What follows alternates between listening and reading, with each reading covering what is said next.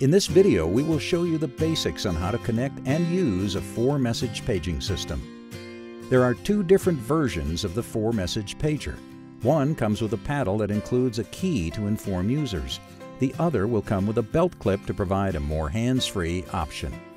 Begin by screwing the antenna onto the port located on the top left corner of the transmitter. Continue by plugging in the power cable into a power surge protected outlet. Then plug the other end into the back of your transmitter. The transmitter screen should turn on if this step was done correctly. Next, plug in one end of the power cable into a power surge protected outlet and the other end into the back of your charging station. Finally, place all of the pagers into the charging station. There will be a red light in front of each pager indicating that they are being charged. If your order contains more than 12 pagers, you will need to add another charging station by using the Daisy link provided and linking one charging base to the other. When you're ready to use the equipment, you will be using the F1 through F4 keys depending on the message you would like to send.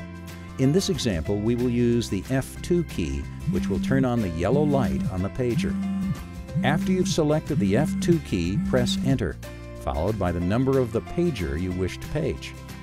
Then press the green Send key. The guest or staff member will be alerted by a strong vibration and or flashing lights of the pager depending on the selected settings. When your paging system is working, you will be able to easily page your guests or employees with just the click of a button. For more information, please visit us at www.pagertec.com.